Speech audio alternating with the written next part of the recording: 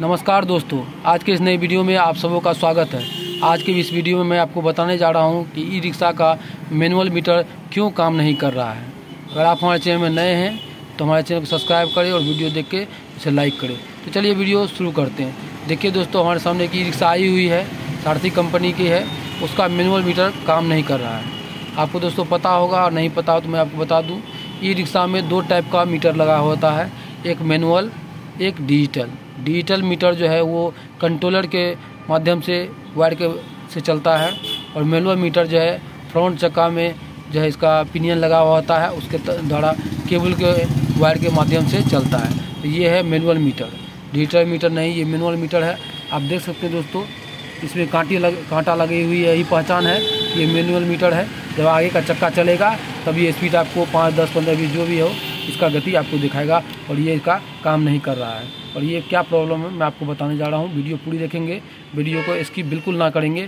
तो चलिए मैं आपको बताता हूँ। देखिए दोस्तों,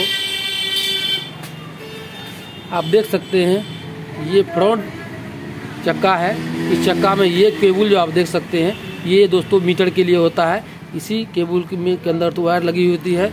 उसके माध्यम से ये इसी केबल के अंदर ये वायर लगी तो उसके माध्यम से आपको वो मीटर चलता है दोस्तों। जब ये चक्का आपके आगे का चलता है, इस तरह से घूमता है, देखिए मैं चक्का को घुमा रहा हूँ। तो ये कांटा को उठना चाहिए, आप देख सकते हैं, ये कांटा बिल्कुल नहीं उठ रहा है। यही प्रॉब्लम है, इसमें क्या प्रॉब्लम है, आपको दिखाता हूँ दोस्तों। देखिए दोस्तों, ये केबल है, पहले इस केबल को आपको ये पेचकस के माध्यम से यहाँ देखिए दोस्तों, देख सकते हैं यहाँ पे एक लॉक लगी हुई होती है इस पेचकस के माध्यम से आपको इस तरीके से निकाल लेना है। इसको इस तरह से बाहर कर लेना है दोस्तों। अब देख सकते हैं दोस्तों, यहाँ आपको दिख रहा होगा, इसमें वायर लगा हुआ है और इसके अंदर पिनियन लगी हुई थी, मैं आपको दिखाता हूँ। आप गौर से देखें उससे चक्का आप खुलेगा तो उसमें दिखेगा, अभी तो रंग नहीं दिख पा रहा है दोस्तों। लेकिन इसके अंदर पिनियन लगी हुई होती है। आप चक्का को इस तरह से घुमा के देखेंगे, अंदर का पिनियन आपको चलना चाहिए। देखिए अंधेरा वजह से नहीं दिख रहा है। चलिए मैं दूसरा आपको सिस्टम बताऊँगा। पहले मैं तार को चेक कर लेता हूँ।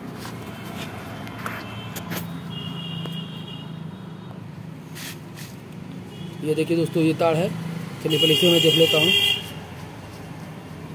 देखिए दोस्तों, आप देख सकते हैं, इसका तार ही टूट चुका है, इसी वजह से ये नहीं चल रहा है। चलिए इसी तार से मैं आपको दिखाता हूँ, आप पिनियन किस तरह से करेंगे, कि आपका पिनियन सही है कि नहीं। यहाँ देखिए, इस तरह मैंने लगा दिया है। अब देखिए मैं देखिए दोस्तों, मैं जब चक्का चला रहा हूँ तो आप देख सकते हैं ये तार चल रहा है।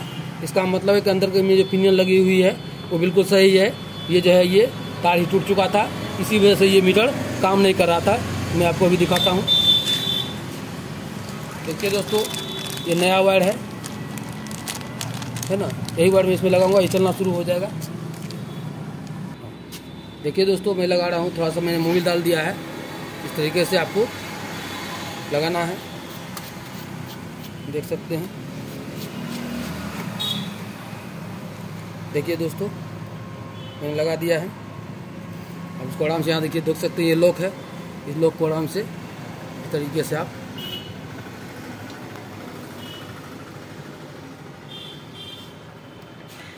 पिनियन में दोस्तों इसमें लग जाना चाहिए।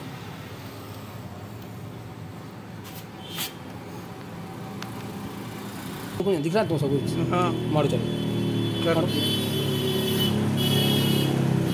देखिए दोस्तों मैं आपको चक्का घुमा के दिखाता हूँ। ऊपर आप देख सकते हैं मीटर देखिए दोस्तों मैं फिर नीचे चक्का दिखा घुमा रहा हूँ। आप देखिए दोस्तों दस भी पे धीरे धीरे पाँच पे आ रहा है। मैं फिर चक्का घुमाता हूँ।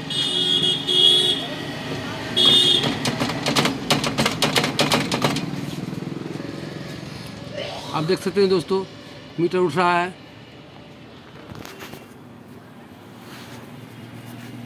देखिए दोस्तों हाँ। फिर से मैं आपको दिखा रहा हूँ दोस्तों, यहाँ देखिए। देखिए दोस्तों, दस पे काटा चला गया है। बस छोड़ दो। देखा आपने दोस्तों, प्रॉब्लम कहाँ था? इसका वायर ही टूट चुका था। और कभी कभी ऐसा होता है, वायर सही रहता है। और चक्के के अंदर जो पिनियन लगी हुई होती है, वो पिनियन भी खराब हो सकती है। जो पिनियन खराब हो तो आप पिनियन बदल दें। इसका तार टूटा हुआ था, मैंने तार बदल दिया, आपने देखा, बिल्कुल सही हो गया। मैं उम्मीद करूँगा दोस्तों, अगर इस तरह का आपको प्रॉब्लम आता है तो आराम से आप जो है मिलोमीटर का काम कर सकते हैं। डिजिटल मीटर में कंट्रोलर से रहता है, इसमें तो वायर से है। तो आपने देख लिया दोस्तों, अगर पिनियन खराब हो तो आप पिनियन बदल सकते हैं। और केबल पूरा टूट चुका हो तो नया केबल पूरा सेट दे सकते हैं दोस्तों। मैं उम्मीद करूँगा दोस्तों ये वीडियो आपको अच्छी लगी हो नेक्स्ट वीडियो में आपको फिर मिलूँगा। तब तक के लिए धन्यवाद।